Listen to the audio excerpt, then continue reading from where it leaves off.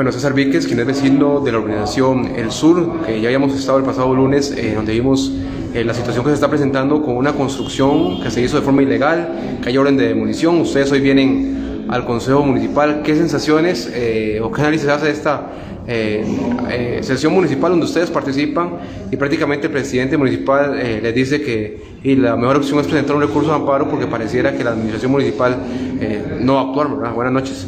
Bueno, buenas noches, gracias. Eh, sí, incluso la, respuesta que le brindé, digamos, a, don Andrés, de que es más fácil entonces poner una, una ventanilla acá para que estén recibiendo los, los recursos de amparo.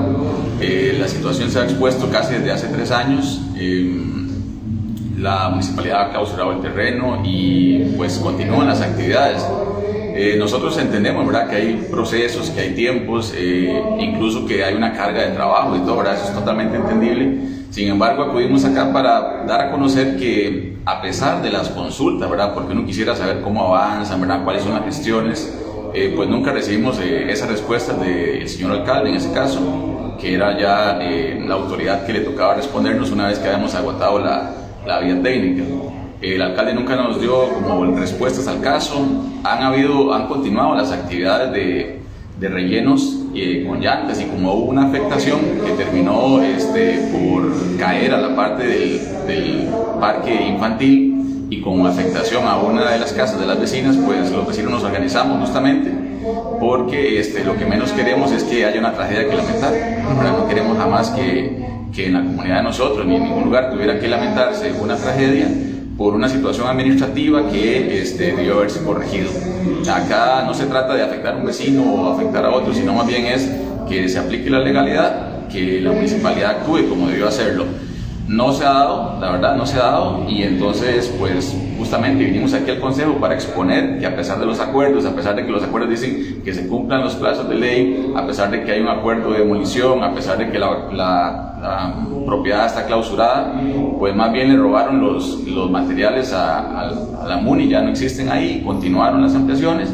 Y no quisiéramos, eh, incluso hay, hay un socavamiento de los terrenos eh, la municipalidad tendría que verse comprometida. En algún momento sí nos vemos afectados eh, para poder acceder libremente a nuestras propiedades. Entonces, bueno, eso es un tema de prevención también.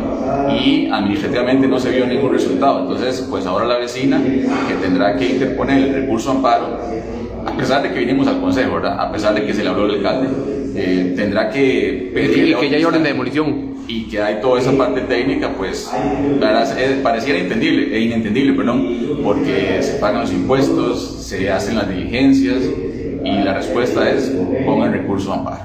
Como vecino de, de Grecia, Santa Gertrudis Sur, ¿qué sensación le deja esta inacción de la municipalidad, porque muchos eh, lo decían los regidores, todas las semanas hay, ese tipo de denuncias y pareciera que esto no se debería ver como algo normal, sino hay una inacción y no se está cumpliendo con lo que dice la ley, como usted mismo lo dijo. Los plazos se cumplieron, no pasó nada y, y como han dicho algunos, aquí en la municipalidad de Grecia no pasa nada.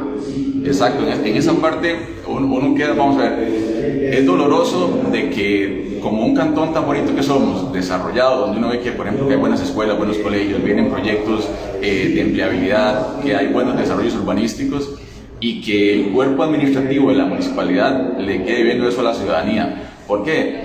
Porque elegimos personas para el consejo y ahorita el consejo decía, bueno, yo me libero responsabilidades. Primeramente, el que libera responsabilidades es un juez acá. Ahora uno no, no, tampoco está obligado a, a testificar en, en cuenta propia pero este, el que tiene que liberar es un juez, eso uno. Eh, y no se trata de, de tirarle al consejo, ¿verdad? Lo que se trata es de demostrar que la municipalidad de forma administrativa no está gestionando, está no está gestionando nada, eh, no está realizando la, la, proyección de los recursos. Hay, entendía que hasta 3.000 situaciones similares aquí en solo el cantón y eso no se dio de la pandemia para acá. Posiblemente llevan años en eso. Entonces sí, la verdad en la parte administrativa es donde más eh, sin sabor genera, porque este, seguramente el alcalde incluso pudiera tener la intención de, de tomar ahorita las decisiones, pero si administrativamente no hacen la gestión oportuna, pues vamos a seguir lo mismo, no solo el distrito de San José, sino todos los demás distritos. También a Kevin Solano, que fue uno de los vecinos que también conversamos el pasado, me parece que fue el lunes, allá en, la comunidad y que tuvimos la oportunidad de ver el, desastre que hay, ¿verdad? Eh, con esta construcción que se hizo de forma ilegal. ¿Qué sensaciones le deja esta visita hoy al Consejo Municipal donde prácticamente la recomendación que le hace el presidente Andrés Stanley es pongan el recurso de amparo porque la administración ha optado. Sí, don Rodolfo, realmente es como vergonzoso, vergonzoso porque este, prácticamente se, todos los, regidores y, el presidente del consejo nos dicen, ustedes aquí están perdiendo el tiempo, eh, aquí para que le solucionen tienen que ir a poner recurso amparo y eso, y es muy doloroso, doloroso porque bien, es una mala administración, ¿verdad? Eh, como dice el, señor presidente Don Starling, eh, y aquí la administración, bueno, eh, la administración municipal, don Francisco un día tomó la decisión de no hacer demoliciones. Eh, y también hablan de personas que también no vamos a tirar a la calle así porque así. don Francisco conoce quién es el que está ahí viviendo. Ahí no son unos precaristas que llegaron, ¿no? son, son las hijas de don Tulio Solís, él las conoce.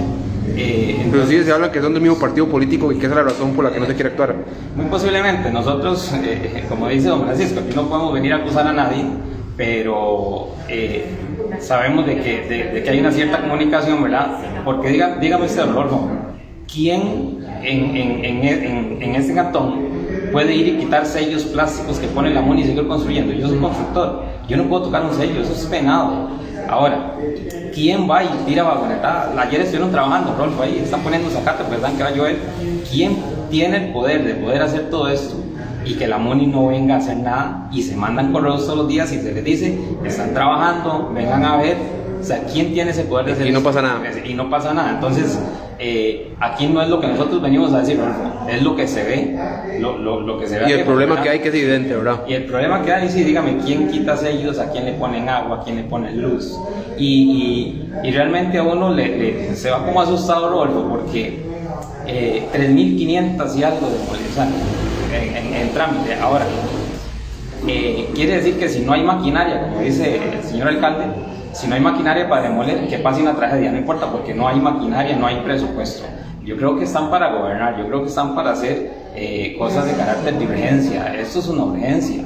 Eh, la señora Doña Alicia es la mayor afectada acá y, como le digo, el, el, el, mayor desatino de uno es que ellos sabiendo, o en este caso, don Francisco sabiendo lo que está pasando, no hace nada y da un discurso como el que todo mundo escucha siempre, yo sigo el consejo, yo sigo la, lo sigo siempre a él ahí en, en, sus entrevistas, un discurso light, no, no me vean como el malo, eh, estoy para ayudarles, es muy bonito, ¿no? Ir y tomar fotos de los tanques que se están haciendo y llevar el dron, es muy bonito ver las cosas bonitas y presentarlas, pero lo feo no, lo feo está ahí metido, encubren, entonces es, es, es realmente preocupante, digamos, eh, a quién ponemos a gobernar. Ya viene el cambio de gobierno, gracias a Dios, gracias a Dios viene el cambio de gobierno. Y nosotros como el pueblo tenemos que saber elegir. Pues muchas gracias a Alicia. Alicia. Alicia. Alicia. Alicia, ¿verdad? Bueno, doña Alicia, usted es la, la, más afectada de este caso, es la vivienda que está en peligro. Eh, ¿qué, ¿Con qué sensaciones sale de, esta audiencia que han tenido con el Consejo Municipal? Usted ha manifestado que iba a tener que presentar el recurso de amparo porque su casa y su hijo están en peligro.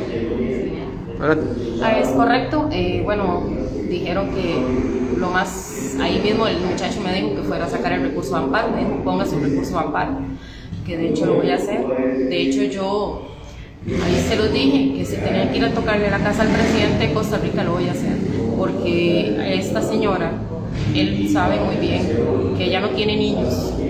Ahí el niño que está corriendo peligro es mi hijo, y él lo sabe. Y todavía ahí se lo reiteré, porque todavía ella, ella, o sea, tiene dónde ir a meterse, porque su padre tiene dinero, nosotros no lo tenemos. O sea, yo tengo que luchar por la vida de mi hijo más que todo y, se lo, y sí voy a poner el recurso de amparo a la sala cuarta y voy a, si tengo que localizar al presidente, voy a hacer lo posible por hacerlo. Inclusive usted dice que en estos días, eh, por lo menos tres vagonetas de tierra volvieron a tirar en ese sector donde el terreno está sumamente inestable y con las lluvias y toda esa tierra va a caer en, en la propiedad suya y en, y en el parquecito infantil. Es correcto. Ella siguió echando las vagonetas de tierra. Ella todavía, digamos, es inconsciente en lo que está haciendo.